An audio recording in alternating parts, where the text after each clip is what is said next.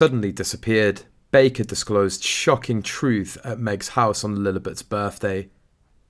The baker who made the Duke and Duchess of Sussex's wedding cake has revealed a few snaps of a £244 floral two-tier strawberry buttercream cake made for Lilibet's first birthday.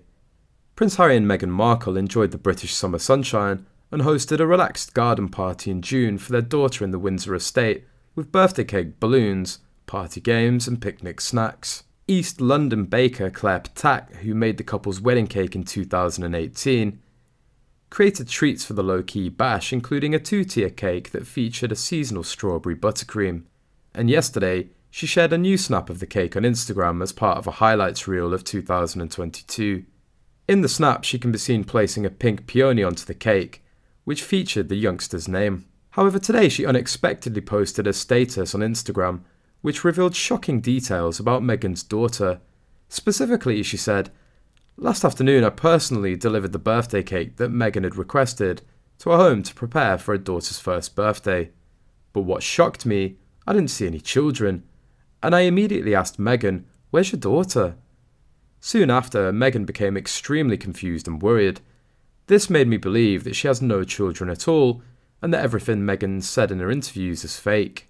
Recently, a conspiracy surrounding Meghan Markle has been reignited with the launch of Netflix's Harry and Meghan documentary series.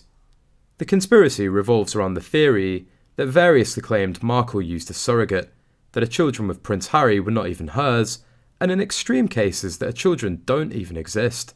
Meghan Markle's estranged half sister Samantha Markle has regularly slammed her royal siblings with the latest criticism involving conspiracy theories that suggests Meghan and Prince Harry's children aren't real. Now, in a new exclusive conversation with the Daily Star, Samantha hinted at the same, claiming that Meghan and Harry's Lilibet Diana Mountbatten Windsor is still a mystery to the British royal family. Samantha was quoted as saying, It's such a mystery and it's bad for Her Majesty after Lilibet was named after her.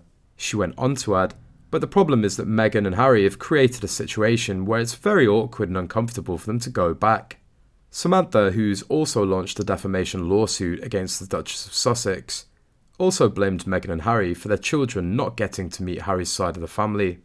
If Lilibet and Archie don't get to meet the royal family, well, that was their parents' decision to create the situation that made that difficult, she said.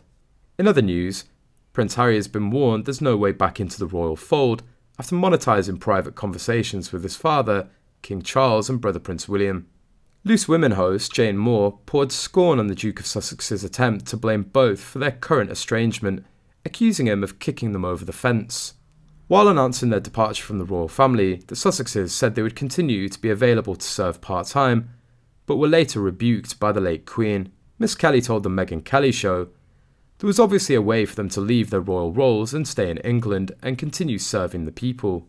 There are plenty of royals who aren't working royals, they chose to leave in a huff because they wanted the attention, because they're brats, because they wanted $100 million from Netflix in order to tell their story. That's actually what happened here. It's not about, oh, we tried to resolve it privately, but we couldn't, so we had no choice but to bring these matters out. They wanted the